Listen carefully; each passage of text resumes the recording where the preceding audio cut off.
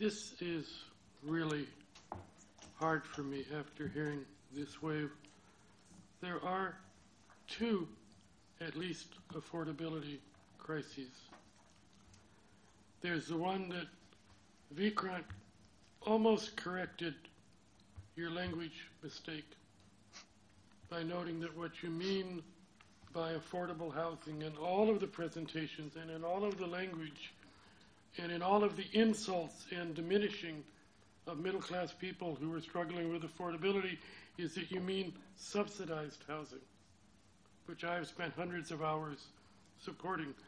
But if you came to my city or cities like mine and did community outreach, for example, to the people who are about to be evicted as the President Hotel returns to a hotel who are not eligible for subsidized housing but face an affordability crisis, or talk to the teachers in the three teacher forums I've talked to who are not eligible for subsidized housing but face an affordability crisis.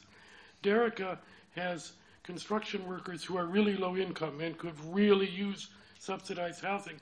And when Derecka succeeds in getting those people a really good wage, they're still going to be housing challenged, affordability challenged, but they're not going to be eligible for subsidized housing. So when Denise and Derecka come up and talk about increasing housing production, not just for affluent people, we're not just affluent and poor.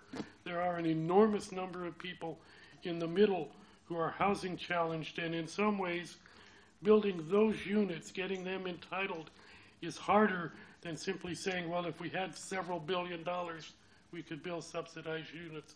Please let the affordability crisis for the folks into the middle into your language, into your policies, and into your heart, even if those at the low end have the highest priority. I hope they don't have the only priority about affordability.